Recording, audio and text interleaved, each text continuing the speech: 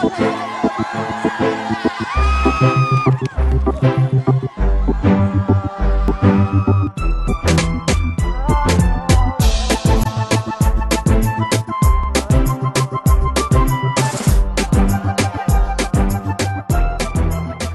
åtte jenter. Vi hadde alle sammen en visjon. Og de på skolen sa at alt kunne gå hvis vi jobbet for det.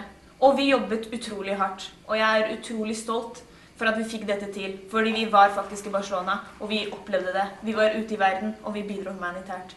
Vi har et budskap om å spre glede. Vi har et mål, og det skal vi nå. En, to, tre.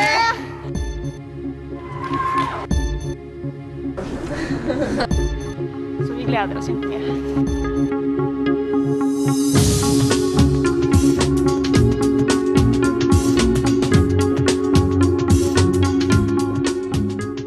Starta egentlig på høsten, ehm, hvor vi kom på en tanke om at vi kanskje skal dra til Barcelona og bidra humanitært og fremme skolens verdier.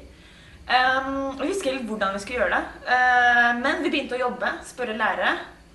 Eh, og det som var det viktigste for oss, var å fremme eh, de gode verdiene man utarbeider gjennom idrett. Eh, der nede dro vi til et barnehjem som het Chicks.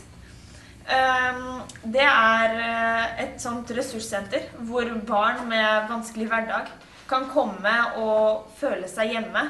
De driver der da med masse forskjellige idretter, eh, hvor en av dem, eh, som er veldig viktig, da er fotball.